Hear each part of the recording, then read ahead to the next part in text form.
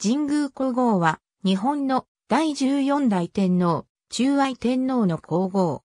日本初期での名は沖永たらし姫の村で中愛天皇崩御から王神天皇即位まで初めての摂政として約70年間君臨したとされる。実在は明らかではないが、神宮皇后元年を西暦367年とする説がある。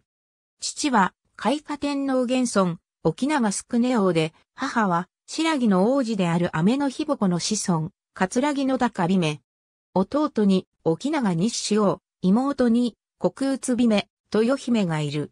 中愛天皇2年1月に立候。天皇の九州熊祖征伐に随伴する。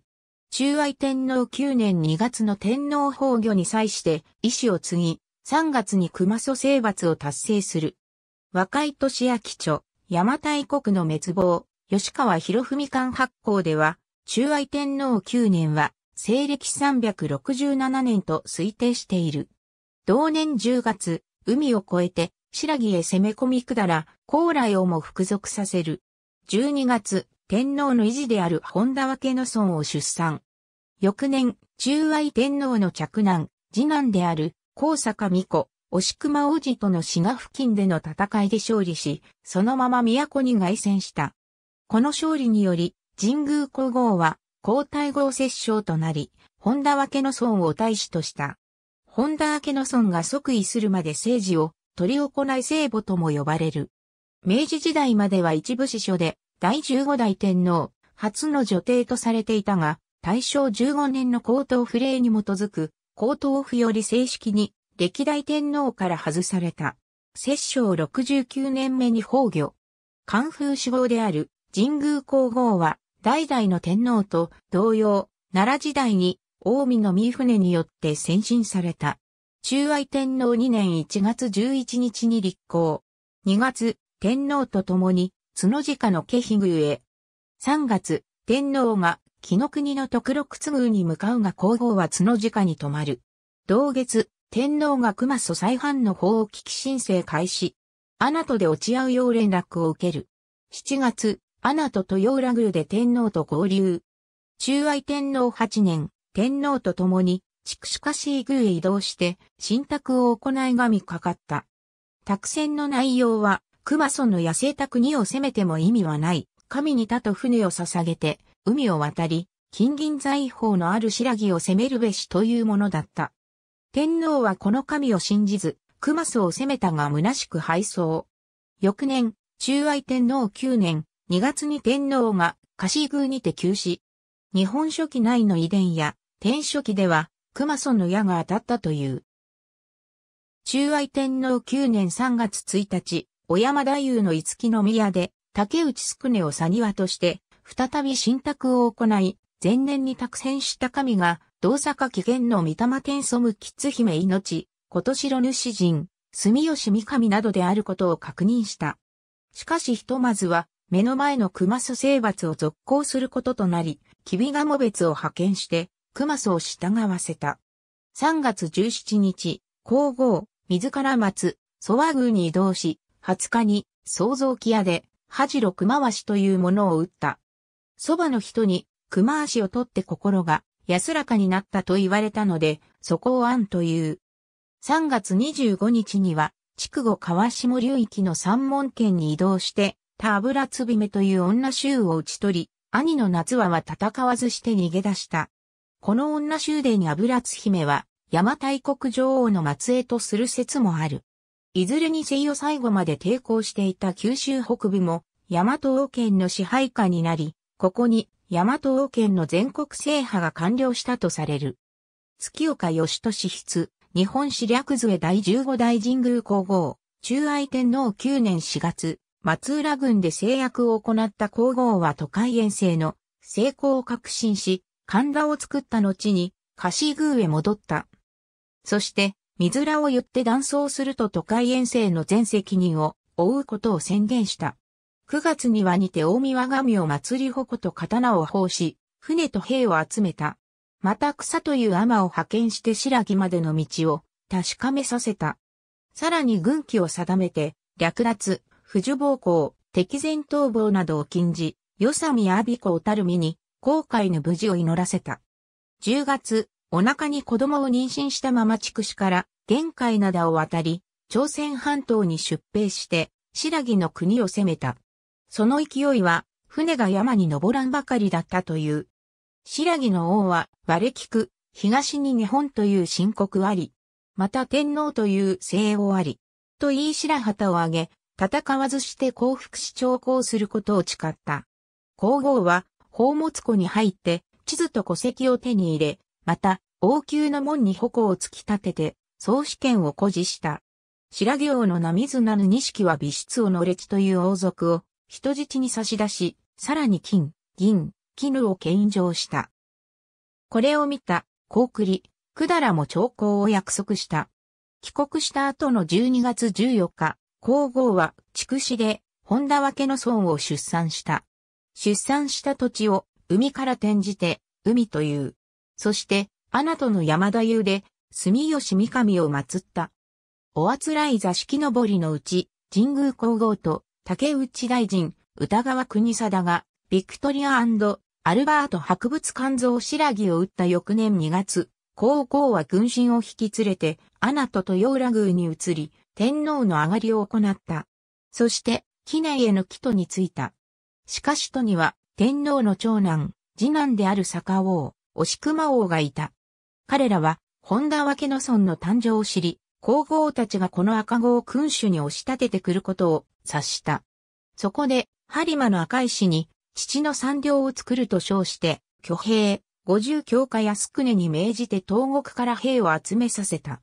そして、戸ヶ谷というところで、戦いに勝てるならば良いイノシシが取れると制約の狩りを行った。ところが突然現れた、獰猛な赤いイノシシに坂王は食い殺されてしまった。協調取り返した、押熊王は住吉まで撤退した。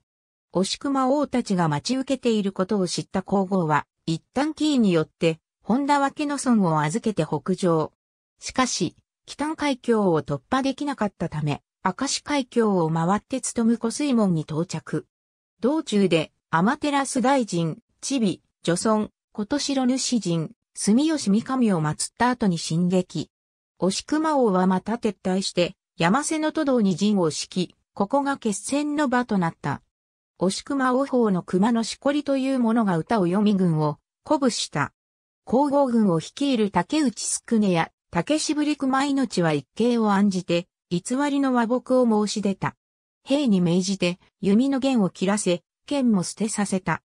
押熊王がそれに応じて自軍にも同じようにさせると、竹内すくねは再び号令し、兵に替えの弦と剣を取り出させた。予備の兵器など用意していなかった押熊王は敗走した。竹内すくねは大阪山を越えて京並の栗林まで追撃した。逃げ場のなくなった押熊王は五十強化安久根を呼び寄せ歌を読んだ。押熊王と五十強化安久根は共に瀬田川へ受水し、遺体は後日になって引き上げられた。同年10月、皇后は軍神に皇太后と認められた。この年が、摂政元年である。摂政2年11月8日、天皇を河内国長野領に葬った。摂政3年1月3日、本田分けの孫を大使とし、岩れ若狭宮に遷都。摂政13年2月に大使が竹内すくねに連れられて、角鹿の家妃大臣に参拝。家妃宮出発から始まった皇太后の遠征事業は、ここに終わり、主演が催された。摂政5年3月7日、本国に一時帰国したいという美出王の列地の願いを聞き入れて、桂木卒彦を監視につけるも逃がしてしまう。摂政46年3月、島スクネを朝鮮半島の卓順国に派遣。島スクネはさらに、百済へ死者を送り、百済から日本への道をつないだ。翌年4月、白木と百済が長行してきた。百済の貢ぎ物がひどくみすぼらしいので死者の久指定を問い詰めたところ、白木に貢ぎ物を奪われたと訴えた。摂政49年、白木を再征伐することになった。将軍として派遣された、新田別、鹿川別は、百済の吉良金氏、砂谷月と共に七つの国を平定した。以後、摂政52年まで久指定が日本と百済を往復し、百済から宝物をもたらした。摂政62年、白木が長考してこないので桂木卒彦に征伐させる。摂政69年、4月に崩御。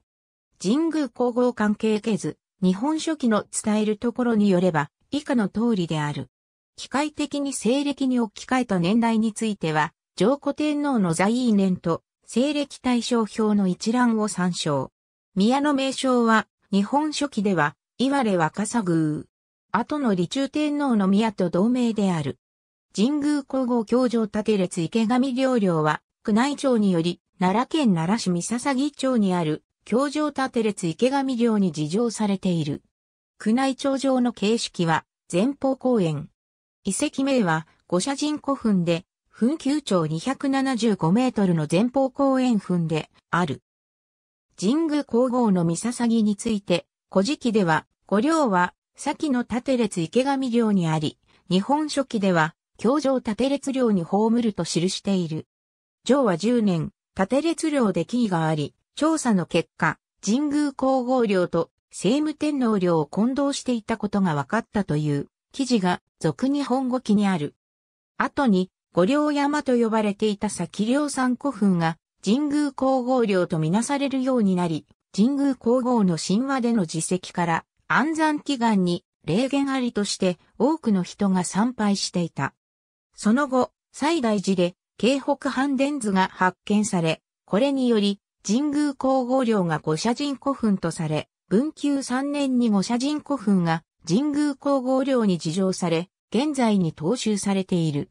2008年、宮内庁は日本考古学協会などの要請に応じ、五社人古墳の立ち入り調査を許可した。これは考古学者の要請に応えて古墳の調査が許可された初めての例となった。ただし調査は古墳外周の表層だけとされたため、調査では差したる成果は上がっておらず、宮内庁調査の確認と円筒埴輪列が新たに発見されたに止まっている。この古墳は4世紀中から末5世紀初めの築造とされていたが、円筒埴輪列によってやや新しくなるのではないかと推測される。歌川国吉筆、県城八景筑式藩資料は、突起のない限り、日本書紀による。熊祖征伐に向かった天皇と合流するため、角鹿から出発し、停電門に着いた時のことである。皇后が船の上で食事をしているとタが船の傍らに集まってきた。そこで酒を注いでみると、タイは酔うように浮かんだ。海人は、たくさんのタイを取って、西欧からいただいた魚だと喜んだ。以後、毎年同じ時期になるとに魚が酔っ払ったかのごとく、浮かんでくるようになったという。伝承はともかくとして、瀬戸内海では、時期によって、魚が海面に浮かんでくること自体は事実である。海水の流れが急激になると、浮き袋が十分に機能しなくなることが原因である。この神秘的な現象について、今でも祭りが行われている。クマスを制した後のことである。皇后は、非全国で制約を行い、西の財の国を得られるならば、魚はこの釣り針を飲むだろうと宣言して釣りをした。すると、細鱗魚が釣れた。なかなか珍しいということで、この土地はメズラと名付けられ、後になまって松浦と呼ばれるようになった。松浦の女性は、日本書紀が書かれた頃になっても4月上旬に釣り針を川中に投げて魚を取る風習を残していた。しかし、男が釣ろうとしても魚は取れなかったと伝えられる。都会の際は、お腹に付き延べ石や沈海石と呼ばれる石を陰部に挿入して塞いでさらしを巻き、冷やすことによって出産を遅らせたとされる。月のべ石は3つあったとされ、それぞれ長崎県壱岐市の月独神社、京都市西京区のつくよみ神社、福岡県糸島市の鎮海石八幡宮に奉納されたと言われている。その帰路、筑紫の海で王神天皇を出産し、締めでお上目を変えたと伝えられている。他にも壱岐市の湯の本温泉で産湯を使わせたなど、九州北部に数々の伝承が残っており、九州北部に縁の深い人物であったと推測される。押熊を音道に追い詰めていた時のことである。昼なのに夜のような暗さが続き、これを常夜区と言った。原因を占ってみたところ二人の神官を共走したためでないかと出た。そこで聞き回ってみると、怪しげな話が見つかった。この土地の神官である小竹と天野は親友だったが、小竹が病気になって死ぬと、天野は血の涙を流して嘆き悲しみ殉死して、競争を望んだという。すぐに墓を暴いてみると事実だったので棺を新しく作って別々の場所に埋めた。するとすぐに日光が降り注ぎ、再び昼と夜が分かれたということである。住吉三上と共に、住吉大宮の人柱として、また、王神天皇と共に、八幡三神の人柱として信仰されるようになる。武家社会の神である八幡神の母にあたる神であり、数多くの武人が神宮皇后を崇拝していた。有名なのが八幡太郎こと玄吉屋である。また八幡神と同じく、その言い伝えは九州はもとより関東から近畿の大津や京都や奈良や大阪の住吉大社、瀬戸内海を挟んで広島や岡山、四国と日本中に数多く存在する。今でも全国各地で神宮皇后の三冠征伐を祝うための出汁が存在しており、その業績を称える祭りが多い。大分県の宇佐神宮、大阪府大阪市の住吉大社をはじめ、福岡県福津市の宮地岳神社、福岡県大川市の風浪宮、京都市伏見区の五香宮神社など、いくつかの神社の祭神となっている。ゆかりある、福岡市の貸井宮や箱崎宮、福岡県海町の海八幡宮、壱岐市の聖母宮でも祀られている。その他、以下のものがある。明治から太平洋戦争敗戦までは、学校教育の場で実在の人物として教えられていたが、現在では実在説と非実在説が並存している。直木幸次郎は、西明天皇と持統天皇が神宮皇后のモデルではないかの説を唱えている。実在すると仮定しても、皇后となるには、中愛天皇と血縁が離れすぎており、一方で、高坂王、押熊王の母である、大中姫は、皇后より、海の日と記述されているものの天皇のいとこなので、血縁の近さを重視する古代においてはより皇后にふさわしい。大中姫が真の皇后だった場合、神宮皇后と後に呼ばれた沖永たらし姫のは、中愛天皇と共に行った九州遠征で成果を出して、竹内すくねや竹渋り熊命の協力を得て、クーデターを起こしたことになる。また、上記のように、中愛天皇崩御から王神天皇即位まで初めての摂政として、約70年間君臨したとされるが、その間は天皇不在の空位である。神宮皇后は、摂政のまま崩御するまで息子を皇位につかせなかったことになるが、仮に女帝として即位していたのならこの不自然さは和らぐ。新東女列伝第145遠い日本に、中愛市、も、開花ひ孫女神公ためを、創始列伝第250外国なら日本国に、次神宮天皇開花天皇のひ孫女、また、E の沖永たらし姫天皇とあるが、創始には10世紀に日本から渡った宋、長年が伝えた往年代記の内容を掲載したと明記されている。新東女が編纂されたのも11世紀であり、やはり往年代記を参照したと考えられる。明治時代以前は神宮皇后を天皇とみなして第15代の帝とした司書もあったが、1926年10月の皇統府令に基づく皇統府から歴代天皇から外された。日本書紀には義士と現存しない進む気居中から和の女王についての記述が引用されている。義士での和の女王とは、邪馬台国の卑弥呼のことであり、江戸時代までは神宮皇后が卑弥呼だと考えられていた。ただし、和の女王の記述はあくまでも引用されているだけであり、神宮皇后と卑弥呼、大与えを同一視する記述はなく、卑弥呼、大、与え、邪馬台国といった義国が書き記した名称も日本書紀には書かれていない。義士からの引用は現存する義士と相違があり、特に人名、役名に相違が多いため、以下の訳文では現存の義士に基づく人名、役名を示す。以上が引用された全文である。現存の義士では最初の剣士は慶書2年であり、明帝は慶書3年1月に死去している。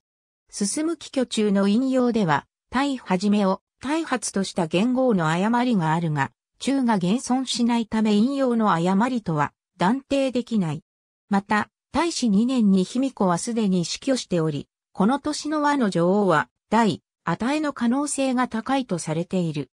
現存する新女部定期では大使2年11月に和人が徴工したこと、シーデンでは大はじめの初めに和人が通訳を重ねて徴工したことは書かれているが、いずれも女王という記述はない。記念について、日本書紀は、くだら参照参照、または編入している。くだら王に関しては、隠れ五年と即位年も記されている。将校王、騎手王、枕竜王、人種王は同じくそれぞれ朝鮮半島の聖史である、三国式、くだら本義の金将校王、金肌首王、枕竜王、人種王と考えられている。記念が120年ずれているが、各王の在位期間がほぼ一致する。井上光貞も日本書紀の編者が神宮皇后を卑弥呼に否定したため、江藤に運繰り上げたという説を支持している。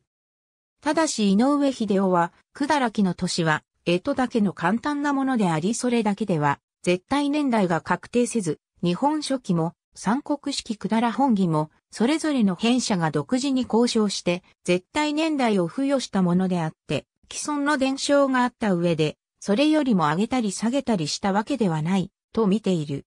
いずれにせよ年代がずれているだけなので、少なくとも、神宮皇后摂政期において、いわゆる二倍歴説は当てはまらない可能性が高い。ちなみに、日本書紀の記念をそのまま当てはめた、戦前の説では、将校、騎手王は、将校、攻め慶王とされた。騎手王と攻め慶王には文字の差が大きいが、これもただの誤射だと片付けられていた。枕竜王、人種王についてはどう考察しても時代が120年、下る人物であるが、これは広大になっても下らが、毎年貢ぎ物を報じている旨を神宮皇后の記事に挿入しただけであり、将校王、攻め慶王の時期とは分ける必要があるとしていた。一方、白木については、三国式白木本義の馬佐錦金と、名骨錦金の子で和国に、人質として赴いた後に逃げ帰った未各金が、それぞれ日本書紀の波綱ルメンと美質を乗れ、地に該当すると思われるが、馬佐錦金と名骨錦金では大きく時代が異なる。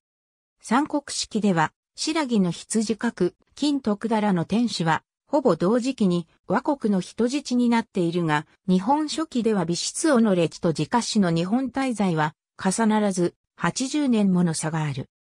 神宮皇后52年9月に小皇王から神宮皇后に献上された七枝刀、通説ではこの七枝刀とは石神神宮に伝わる七種等と考えられているが、その名文にある第4年の部分の解釈にも干支の運繰り上げに関係する諸説がある。精神の大使4年の西暦268年と考える。日本書紀における神宮皇后52年は西暦252年なのでの誤差は16年と大きい。また七種等を報じたとされる将校は日本書紀で三冠征伐があったとされる西暦200年に在位していたと三国式が伝える王ではあるが、七死党が報じられたと仮定される西暦252年に在位していた百済の子に騎士は、将校王ではなく古事王である。これは、日本側で、百済王の代替わりが認識されていなかったためと解釈されていた。名文にある、太4年は、東進太は4年の西暦369年と考える。日本書紀における神宮皇后52年を120年繰り下げると、西暦372年となり誤差は3年と、かなり小さくなる。七首等を報じたくだらの子に騎士は、将校王ではなく金将校とする。三国式ではどちらも単に将校と記載されているため王名に関する矛盾はない。旧工学5円切って1908年政府紙幣1878年、明治時代の改造紙幣にその肖像が用いられ、これが日本における最初の女性肖像紙幣となった。その原版はイタリア人技術者エドワルド・キヨッソーネが作成したため、西洋風の美人に描かれている。なお、中央銀行たる日本銀行発足以前のことで、あるためこの紙幣は日本銀行券ではなく、俯瞰紙幣の政府紙幣であった。低新省は1908年に5円と10円の高額切手を発行したが、皇后の肖像が使われた。この肖像は紙幣のそれを参考にしたものであったが、当時5円と10円は高額であり、郵便料金よりも電信電話料金の納付用に使われることが多かった。また1923年に関東大震災で印刷所が被災し、印刷原版が破損したため1924年から日本人風の肖像に図案が変更された。そのため切手収集家から前者を旧工学切手、後者を新工学切手と呼ばれている。非全国風土記の新名朝東中より古くは、日立国風土記に沖縄大姫天皇とある。他に、不総略記、人王政党記などでは天皇とされている。高等府の編纂以前に臨時五歴大手術交際委員会の審議があった。高等府令は高等府の書式の規定であって、個々の天皇については触れていない。古事記にはこの表現はなく竹内すくねが妊娠中の巫女について尋ねた際、神託を語る前の神宮皇后が神移っていたため、呼びかけに神という表現を用いている。公式サイトより、ハット AB、日本書紀、岩波書店 ISBN 9兆7840億300万427、宮内省所領領編、領母要欄8コマ。宮内庁所領部領母下編、両母地形図修正縮小版、ピアニッシモ402から403、歴史系総合誌、歴博173号、新東女巻220列伝、第145等位、ウィキソース、脱脱、総子巻491列伝、第250外国7、ウィキソース、井上光貞、日本の歴史一神話から歴史へ278から279ページ。くだらきについては、特に382から384ページ、井上光貞、日本の歴史一神話から歴史へ278から279ページ、くだらきについては、特に382から384ページ、ありがとうございます。